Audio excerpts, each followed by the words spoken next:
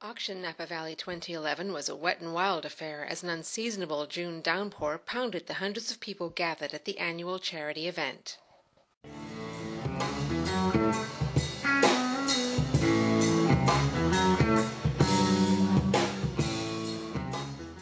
There were cars, fabulous trips, oh yes, and some great bottles of wine waiting to be auctioned off.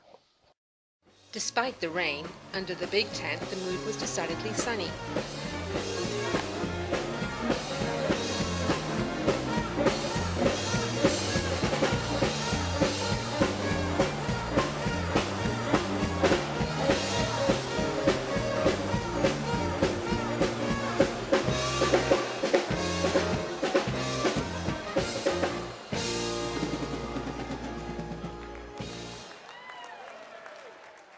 Here's Vintner Judd Finkelstein's take on the day.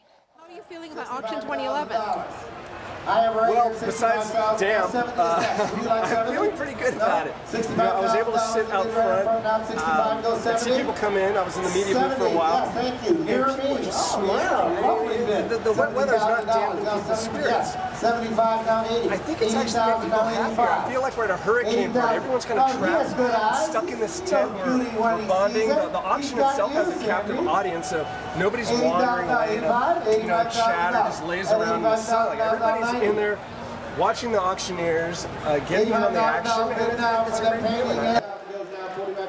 50, 40 back down.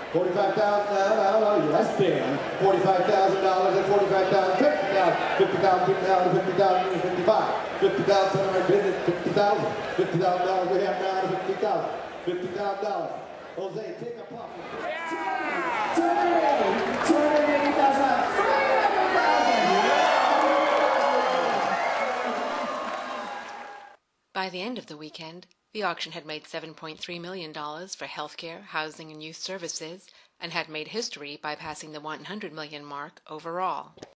Here's what Honorary Chair Koerner Rombauer had to say. Um, sorry about the weather, but so what? Turned out to be a good auction.